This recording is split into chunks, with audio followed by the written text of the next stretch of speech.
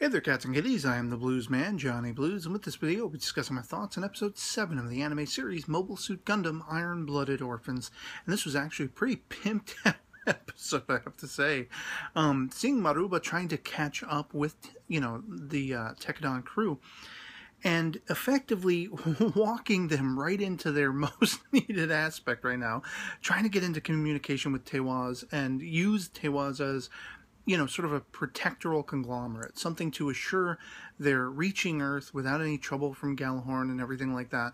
And but because Maruba is this lion son of a bitch, you know, Naze Turbine, uh, you know, he basically being sort of a figurehead, a leader, if you will, amongst the Teiwaz conglomerate, you know, that, that sort of uh, business conglomerate on the face of it, but you know to be sort of like Yakuza, you know, like a mafioso group and everything like that.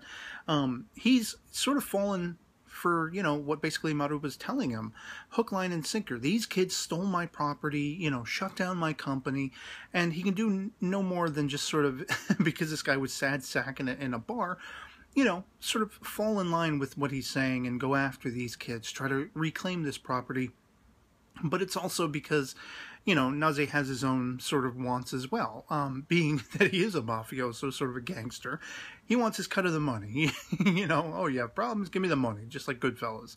And um, I absolutely thought that was hilarious. I love all of the Teiwaz sort of characters. It's mostly women. It's kind of like a Ship of the Valkyries a little bit. Um, and it really called back one thing that the series continually reminds me of in how the story is unfolding and certain aspects of the characters especially mikazuki is uh, as i said from the beginning one of one of the best sort of mecha genre anime series that i got into in the last few years was Suisei no Gargantia and this particular crew kind of reminded me of Lukkage if you're familiar with that show. Um, Lukkage and her crew they were kind of pirates and everything that's kind of the vibe I'm getting with Amida, especially. Um, but even these more underling characters like Azee and Lafter, I think, is the one like sort of Harley Quinn, one doing her you know nail polish at the beginning of the episode. And she's called into battle, and she's pretty freaking kick ass. You know, I mean, she's giving Mikazuki a run for the money in the Barbatos. Granted, they're having some trouble with the Barbatos and everything like that. It's not at full mast, but the fact that Mikazuki's having kind of his ass handed to him a little bit by Lafter in this mobile suit, it's compelling that. I mean, this whole episode, the whole battle sequence, once they finally realize, okay, we're going head to head here, you know, in multiple formats. I mean, they call out everybody, you know, Eugene is left behind to actually take command of the ship, and you're like, well, where the hell is Ortega gone? you know, and he masterminds this uh, means by which they sort of just break into, you know, the Teiwaz vessel and everything, and I thought that was pretty freaking awesome.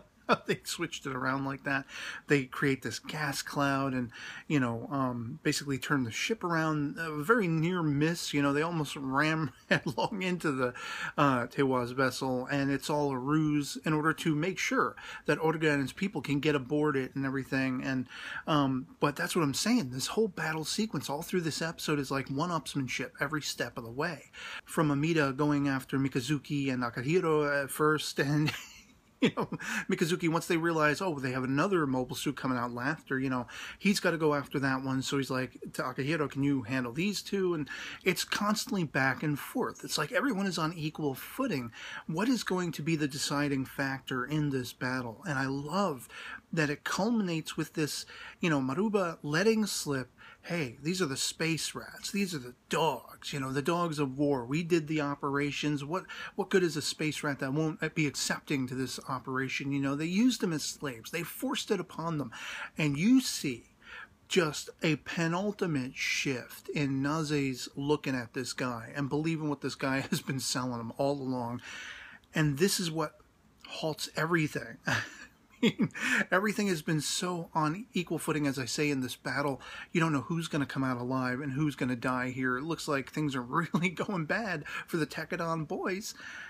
But then because of that, Naze wants to hear the story. He's calling his people back. Ortega's calling his people back. And it's like, okay, now we're going to have a talk. And this is where they needed to be from the get go. All of this battle was, you know, kind of unnecessary, but no less action packed. And, like, I can't wait to see what happens next. I have a feeling the Teiwaz people, Naze, Amida, all these people are going to be accepting to the plight of the orphans and are going to be accepting to a protectoral role. I think they're going to go along with it when they hear the story from Kudelia, who I was another character I was impressed with in this episode.